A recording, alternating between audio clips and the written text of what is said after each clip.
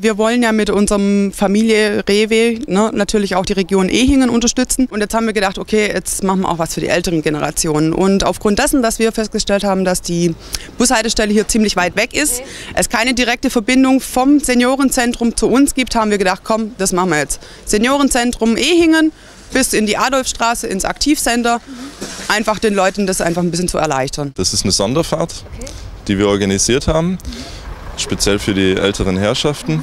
Und es ist auch ein altersgerechter Bus, gerade mit tiefem Einstieg, auch für die, die mit dem Rollstuhl unterwegs sind. Da haben wir, beziehungsweise unser Herr Wilke, hat sich da in Verbindung gesetzt mit der Firma Bayer, Busunternehmen.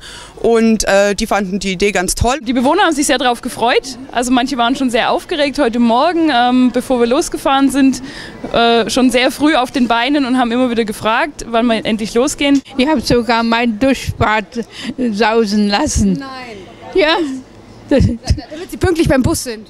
Ja. Wenn man Menschen sieht, okay, wo man sieht, okay, man ist hilfsbereit, man möchte, man kann und solange wir können und wollen und machen wir das einfach auch. Also wir sind natürlich immer sehr froh, wenn die Leute ehrenamtlich oder überhaupt ein bisschen Engagement für die ältere Generation äh, zeigen, weil wir da sind wir darauf angewiesen. Wir haben nun mal unheimlich viele hochbetagte Menschen und äh, denen auch den Respekt zu zollen. Es wäre so, schon sehr schön, wenn man mehr so Engagement hätte natürlich, ganz klar. Und so wie es nachher vom Seniorenheim sag mal, auch angenommen wird, so werden wir das dann auch weiterführen.